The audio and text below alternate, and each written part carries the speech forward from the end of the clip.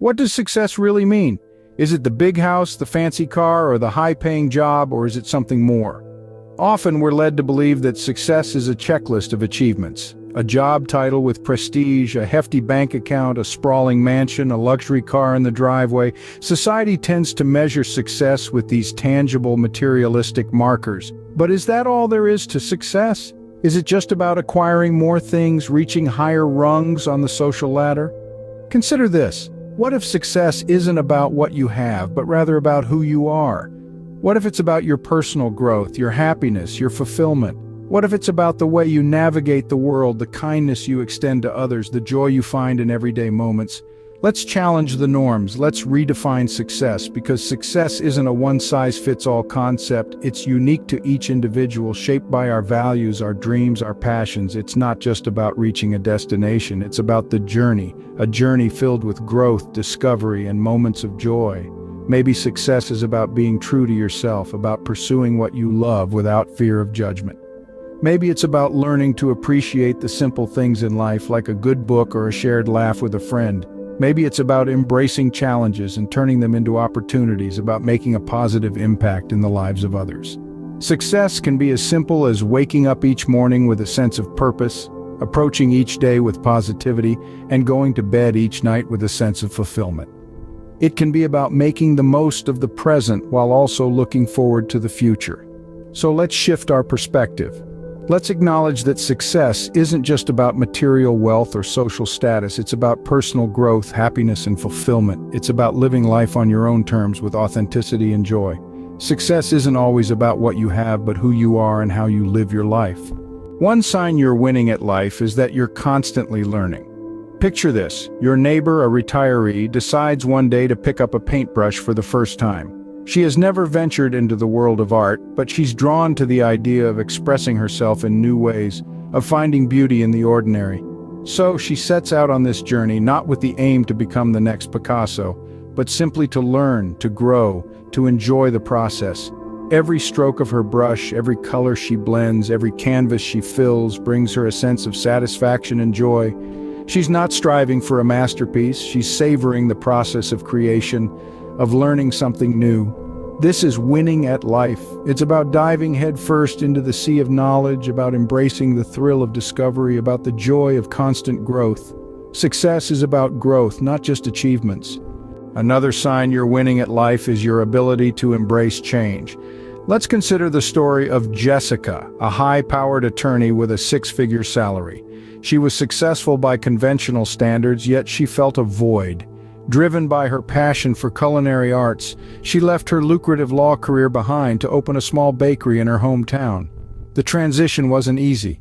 There were financial sacrifices, long hours, and lots of uncertainty. But Jessica embraced the change, welcomed the challenges, and found joy in her journey. She traded corporate boardrooms for warm ovens, legal briefs for sweet pastries. And in the process, she discovered a level of fulfillment that she hadn't experienced before. Jessica's story teaches us that embracing change, even when it's uncomfortable or scary, is a sign of personal growth and success. It's about having the courage to pursue what truly makes you happy. Success is about finding fulfillment, not just financial security.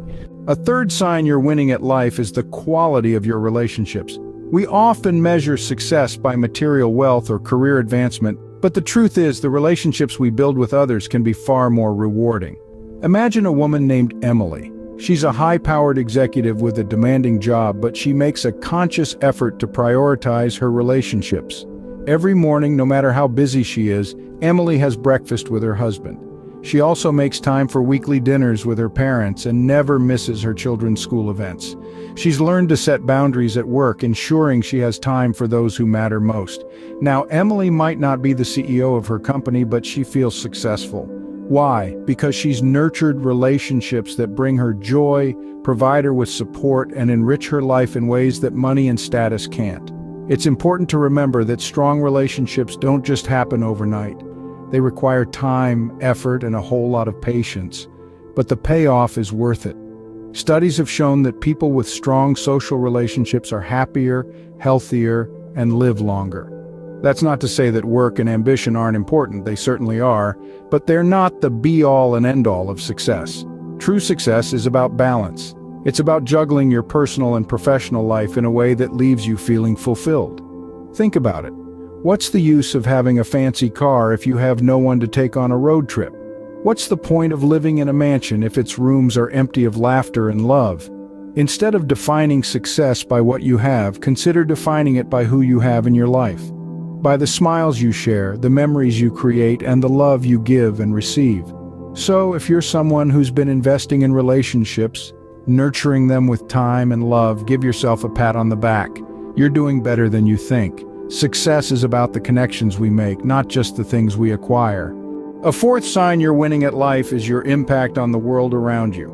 Let's take a moment to explore this concept through a heartwarming story. Picture this.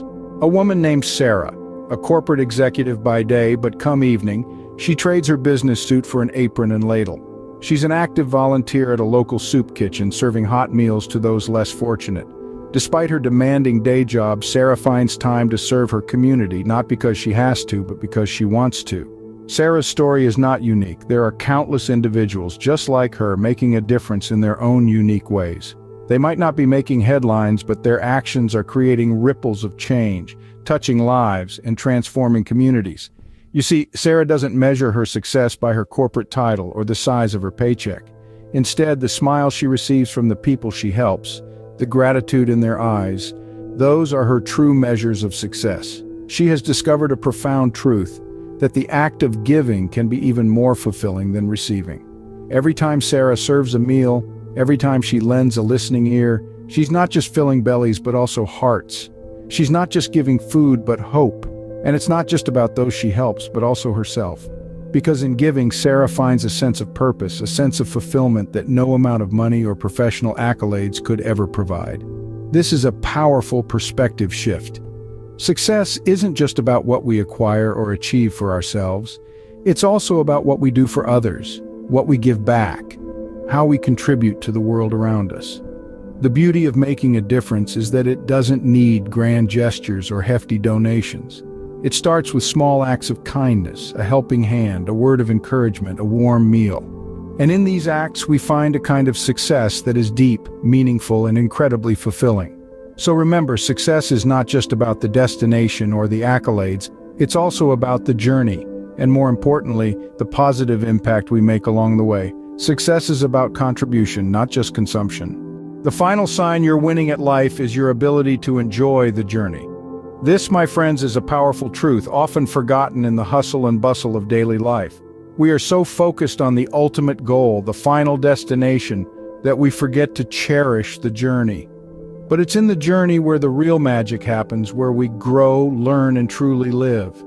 Imagine a man named John. John is an ordinary guy with an ordinary job, but there's something extraordinary about him.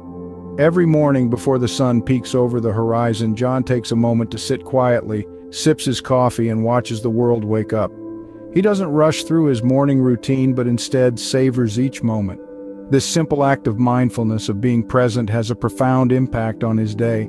His mornings aren't filled with stress or dread for the day ahead. Instead, they are filled with peace and gratitude. John doesn't stop there. Throughout his day, he takes time to appreciate the little things, the way the sunlight filters through the office windows, the laughter of his colleagues, even the taste of his lunch.